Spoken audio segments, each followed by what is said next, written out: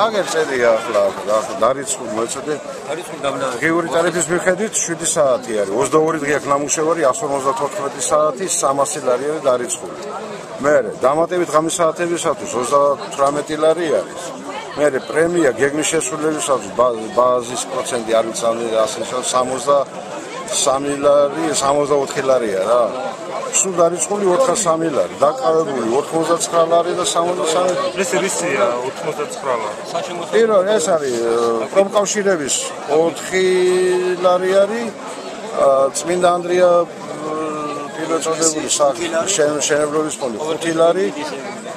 საშემოსავლო გადასახადი 80 და შეკრებილი არის 99 ლარი არის და ხელ 73 ლარი დარჩა იმიდან 403 ლარი.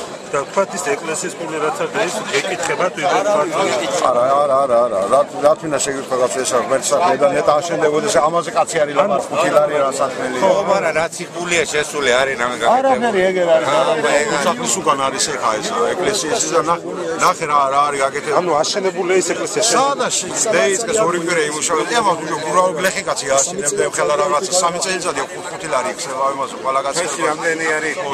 1500 კაც რო მუშაობდეს თვეში რამდენი გამოდის 500 არის ა 3000 კაცი არის ერთიანობაში 4000 ხო 4000 კაცი არის მე რამდენი 20000 20000 20 თვეში 20000 წელიწადში რა? ხუთი ლარი ვერ გვიდება ყოველ თვეში. ვერ გებულობთ ეს ხუთი ლარი სადმე თვითონ ესენი იძახიან რომ ეს ხმარდება საეკლესიო შენებლობებს ეს უბრალოდ მე რა არის? შენებლობა გაკეთებული ახლა მე იქნება ეს ხუთი ლარი კერა 10 ლარი მინდა დღეში დღეში კი რა ვიმბოდო, რატო გვარტყნენ ასე ძალით ამ ხუთს? არ ვიცი სად რა მიდის აქედან. 4 წელიწადია იქნება ეს ხუთი ლარი და ჯერ აფერი